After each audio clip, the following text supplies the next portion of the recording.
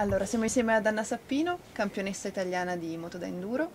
Complimenti per il titolo, anche insomma, per tante cose che ho appena conosciuto di te. Mi Grazie. ha fatto molto piacere. Grazie. Senti, come ti sei avvicinata al mondo delle, delle moto da enduro? È stato un passaggio diretto dalle, dalle moto da cross.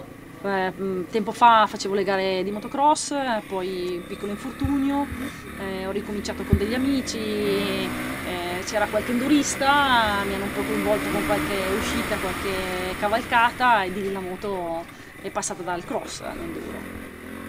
E che ricordo hai della tua prima moto? La prima moto, la prima moto è stata sofferta, io ho sempre voluto la motoretta da piccola, ma i miei genitori non erano molto d'accordo e siccome non andavo proprio benissimo a scuola, mia mamma mi ha, mi ha promesso una moto a fine anno se fossi stata promossa a giugno.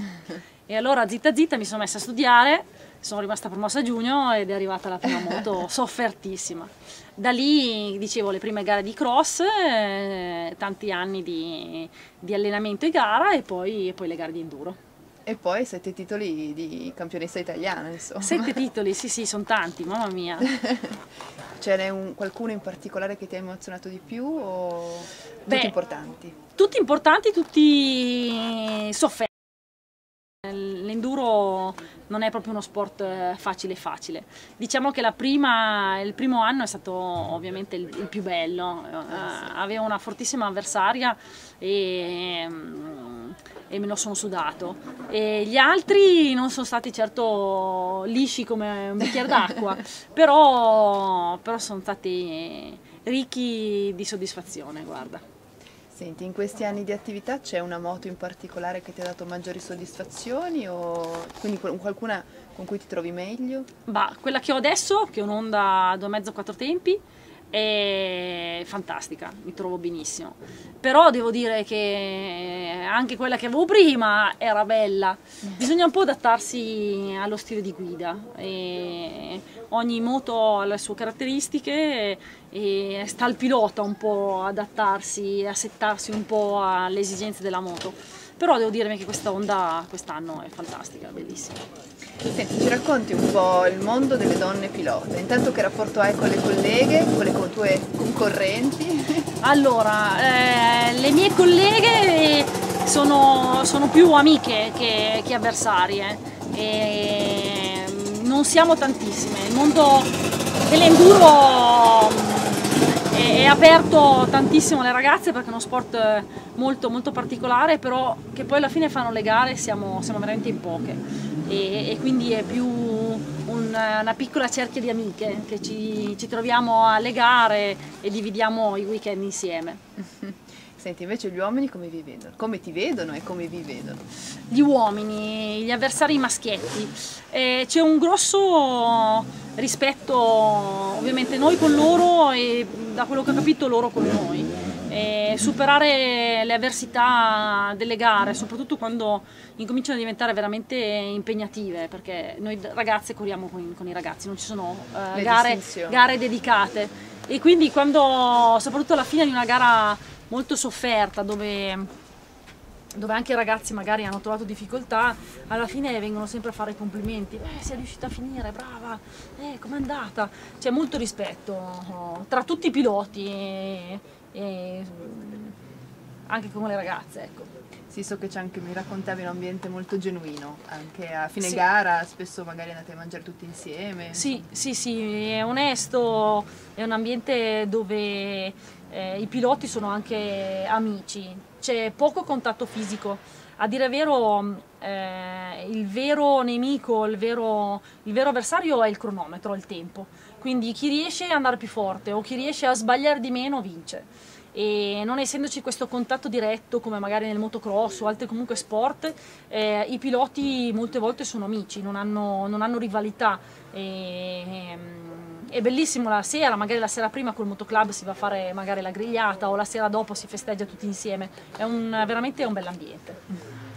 Senti, in tante gare disputate c'è qualche, magari ci sarà stato qualche episodio un po' particolare che ti ricordi, qualche aneddoto che ti è, insomma, qualcosa che ti è successo che ti è rimasto impresso? Beh, devo dire che la cosa più, più strana che mi è successa, ero a una gara di, di motorelli che è molto simile all'enduro, eh, da amici mi avevano invitato e pioveva tantissimo, c'era un tempo veramente eh, infame. In mezzo alla prova speciale, eh, in una pozza trovo un vitellino che stava affogando e ero in prova speciale ma non ce l'ho fatta, ho parcheggiato la moto e sono andata a tirarlo su, che poi probabilmente pesava più di me, è stato, è stato difficilissimo. Ovviamente la gara l'ho persa, però forse il vitellino è ancora vivo. È una cosa bellissima comunque quella che hai eh, fatto. Sì, sì, guarda, mi faceva, faceva troppo pena lì. Ho detto dai, dai, vabbè, la gara, pazienza questa volta. Senti, adesso sei in un periodo tranquillo perché so che la stagione si è conclusa da poco. Sì. Ci racconti un po' appunto quali sono le e quindi qual è l'impegno per ciascuna fase? Beh, quest'anno è stata eh, molto faticosa, abbiamo fatto diverse gare, io e le mie avversarie amiche e l'allenamento è stato molto duro. Eh, a differenza dei ragazzi noi un, un po' di, di muscoli dobbiamo, dobbiamo, metterli in cantiere d'inverno, quindi tanta palestra, poi un po' di fiato con la bici, con eh, il nuoto, si va a correre ovviamente quando si può e poi tanta moto. Ovviamente bisogna sempre conciliare il tempo, il lavoro, la famiglia, però eh, purtroppo è necessario perché più uno è preparato meglio, meglio guida la moto, eh, rischi meno gli infortuni, insomma c'è tutta una serie di cose che quindi consiglio vivamente di allenarsi prima di partecipare a, un campionato. Senti, nella stagione che si è appena conclusa so che hai di nuovo avuto un bel po' di successi. Come è andata? Eh, successi o soddisfazioni, è andata benissimo. Eh, quest'anno per la prima volta la federazione italiana ha iscritto la squadra femminile da sei giorni, la famosissima sei giorni di enduro e abbiamo fatto un grosso allenamento e alla fine tutte le, le ragazze della squadra siamo arrivate alla fine, abbiamo corso, abbiamo dimostrato di essere lì lì e pur con qualche problemino la mia collega Paola ha spaccato il motore, è riuscita ad aggiustarlo in parco chiuso, eh, Cristina ha faticato un po' poi recuperato, io ho preso qualche tombolone ma poi sono rimasta in gara quindi è andato tutto benissimo. E concludere una sei giorni è una cosa veramente eh, che riempie di soddisfazione. Mm, non so se, se, se sai, se, se, conosci la sei giorni è una gara che rappresenta, rappresenta l'apice del, dell'enduro. Ogni anno eh, si dedicano sei giorni di gare in eh, in posti ovviamente meravigliosi, ogni anno in un posto diverso. Steve McQueen ci ha provato anni fa con eh, la squadra americana e lui non è riuscito a finirla. Quindi Beh, mi, re, mi riempie d'orgoglio arrivare alla fine, Direi. di essere arrivata alla fine. E... Dove si svolge la stagione? Allora, quest'anno l'abbiamo, l'abbiamo, fatta per il centenario, quindi era proprio anche un'annata particolare in Italia, in Sardegna e, e, oltre alla squadra del Vaso, oltre alla squadra di World Trophy c'era anche la squadra femminile. Quindi sono onorata di aver partecipato e di aver finito. Finita da sei giorni ho concluso anche il campionato italiano e sono arrivata prima, prima. per la settima volta e quindi non posso che essere felice. Eh, che cosa consiglieresti a una ragazza che voresse intraprendere questa attività? Eh, di sicuro di appoggiarsi a un motoclub che segue, le, che segue l'enduro. È uno sport un po' particolare, ha le sue regole e, e c'è bisogno di qualcuno che, che prepari, organizzi e, e, che segua proprio il pilota vero e proprio.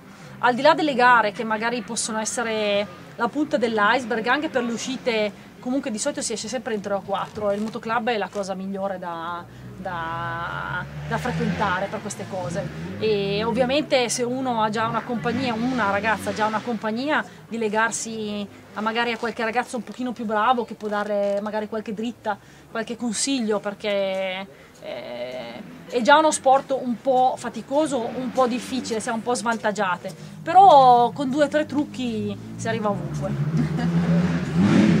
Quando hai cominciato c'era qualche campione o campionessa che volevi emulare o addirittura anche superare? Eh, a dire la verità, io sono nata con la passione della moto, non c'è stata un episodio, un'occasione particolare dove tac, ho visto la moto e sono, me ne sono innamorata. Io fin da bambina avevo la passione della moto, io volevo la moto a tutti i costi, ma senza avere qualcuno da copiare, è proprio una cosa, io volevo la moto. Poi con gli anni, per fortuna sono riuscita a avvicinarmi a questo mondo, con gli anni ho cominciato anche ad apprezzare veramente quanto forte, quanto bravi siano i campioni tutte queste discipline, dal motocross all'enduro, al trial, al supercross. Eh, chi arriva al top veramente ce ne mette di tanta di volontà, tanta lavoro, quindi tutto il mio rispetto. Beh, magari adesso potresti essere tu una campionessa da emulare. da emulare. Mi piacerebbe, infatti mi piacerebbe molto. Se ci fosse qualche ragazzina da, da tirare su, sarei onorata di, di, di raccontare e di, di spiegarle qualche dritta, ecco.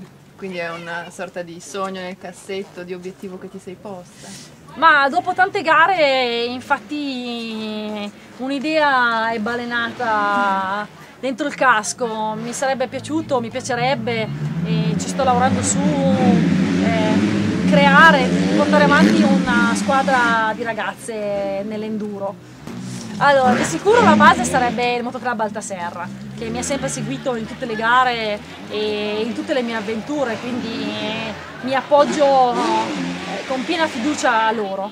E si trovano a Bollengo e tutte, tutte le settimane ci ritroviamo tutti insieme per, per, affrontare nuove avventure. Quindi lì ci sarà la, la base della, di questa nuova scuola. Eh, scuola, scuola magari, certo, certo, sì.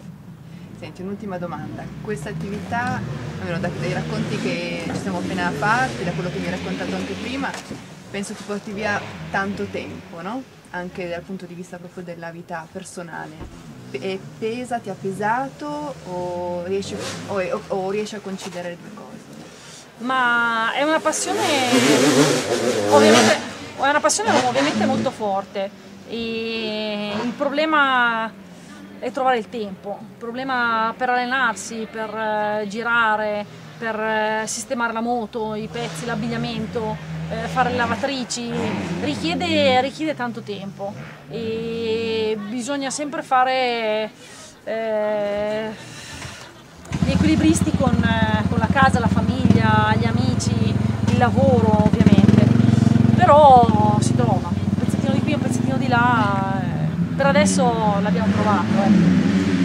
Ultimissima domanda, il primo, il primo impegno del 2014. Primo impegno 2014. Campionato italiano. Eh, con, questo, con, questa, con questa probabile, questa possibile futura squadra ci piacerebbe partecipare al mondiale e all'europeo. so che è un impegno oneroso e comunque molto impegnativo da tutti i punti di vista, però ci vogliamo provare. E ripeto, sì, io e le mie colleghe ci stiamo lavorando su. Bene, in bocca al lupo. Crepi lupo? Allora ci troviamo fra, fra un anno per, per l'intervista come, ottava, come campionessa italiana per l'ottava volta. Eh? Speriamo, speriamo, grazie mille. In bocca al lupo davvero complimenti. Grazie.